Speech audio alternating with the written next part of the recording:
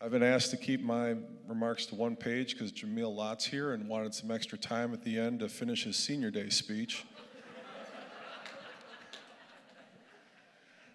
and if my remarks do get a little boring and you want to search Jay Zulof's highlight video on YouTube, you're welcome to do that too. I won't mind.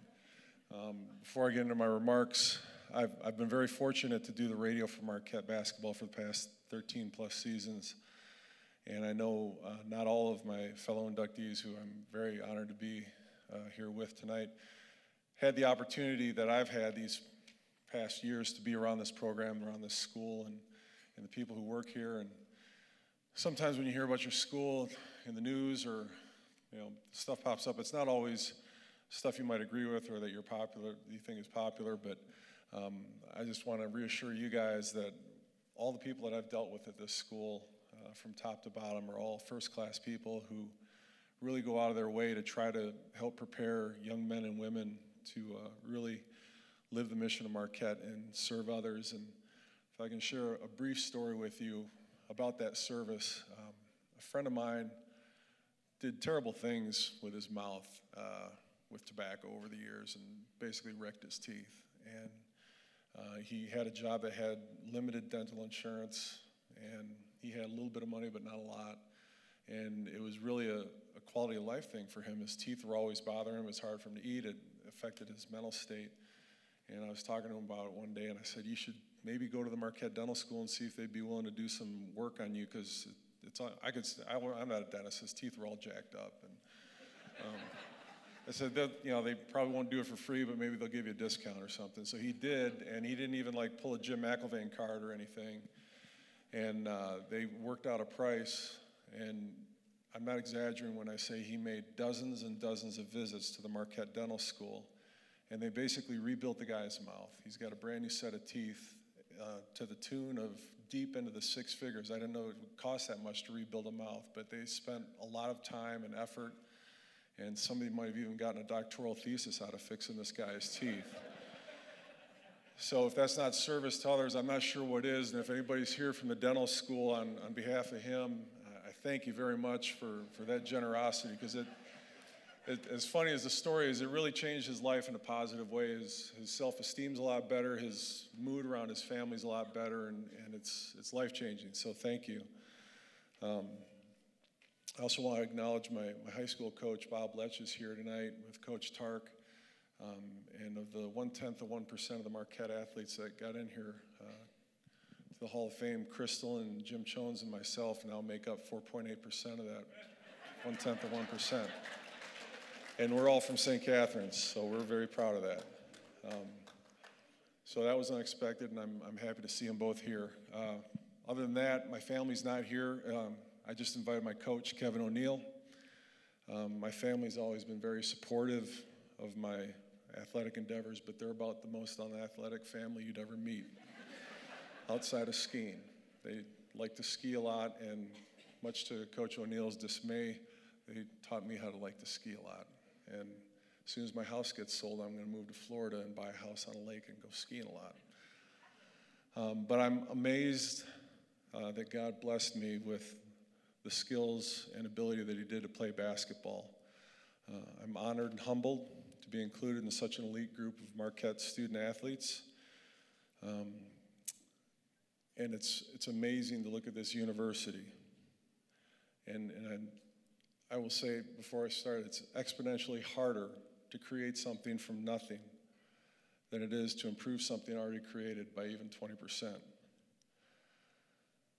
When I look at this school now, when I walk around campus and uh, I first arrived here in 1990. The changes are profound and dramatic. Any empty lot that's left on property that Marquette owns probably has cranes and backhoes on it, and they're building something bigger and better. When I got here in 1990, our locker room had two leather couches and a big screen TV, and that was a really big deal. Um, we showered with the other male athletes in shared showers in the basement of the old gym.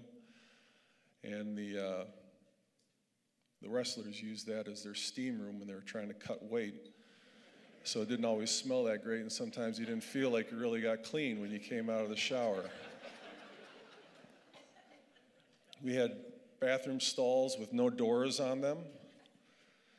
And we practiced in the old gym, which I know some of the sports are still at, but um, when we were there, uh, we had to start late on Thursdays because the ROTC had to march on Thursday afternoons, and so they got to go first and then men's basketball.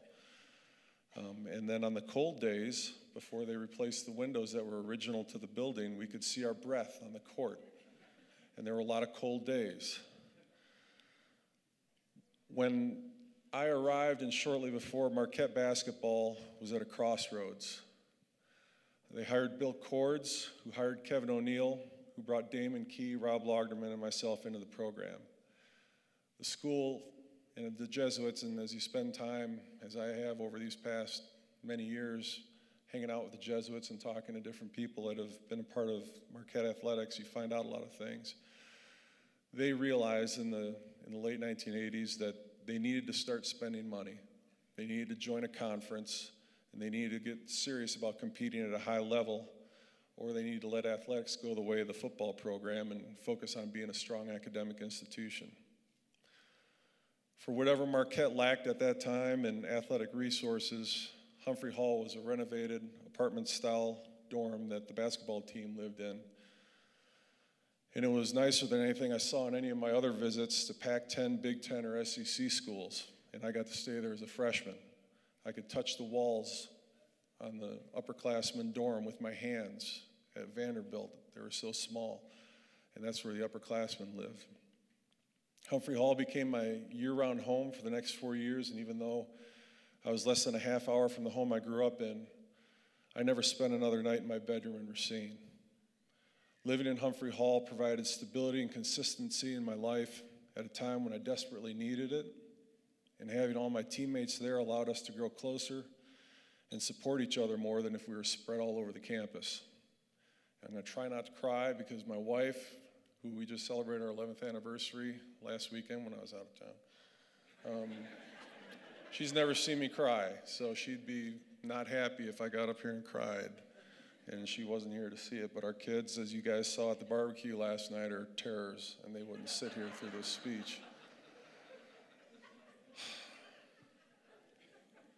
Marquette did win a championship in 1977, but the landscape of college sports and basketball had changed dramatically since then.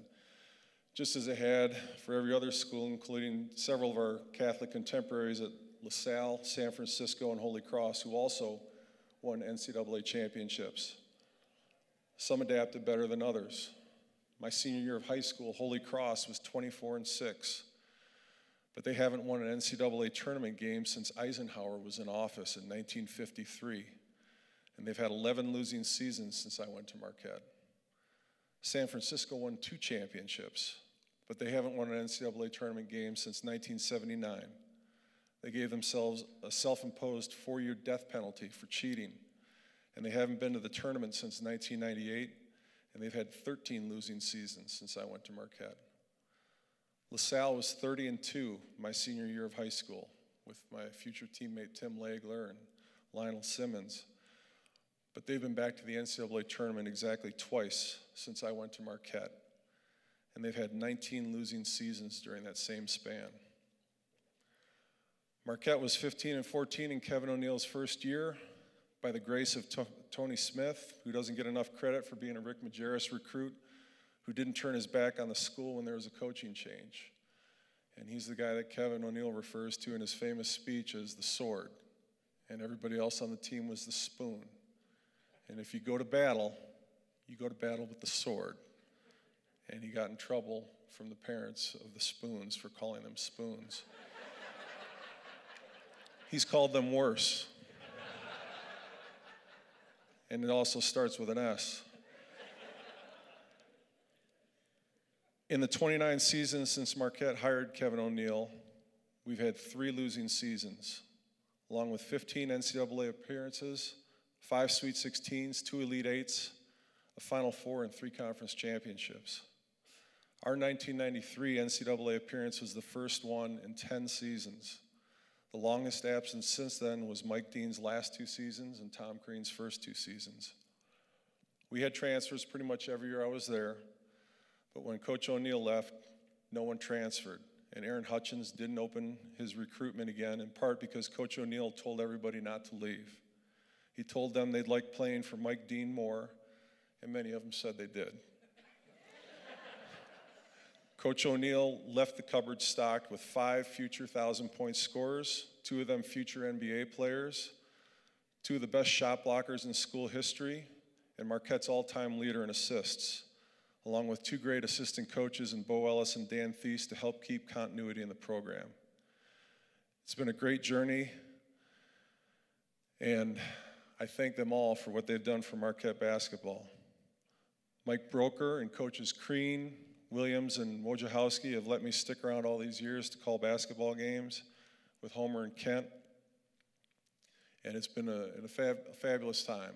And uh, I feel like I, like I hogged it for so many years because it's so much fun to, to be around the school, be around the team, the program, see so many former players here, guys that have made this program what it is, and, and I'm, I'm honored to have that privilege. So I'd like to thank Father Raynor for hiring Bill Cords. I'd like to thank Bill Cords for hiring Kevin O'Neill. And I'd like to thank Kevin O'Neill for saving Marquette basketball. Thank you.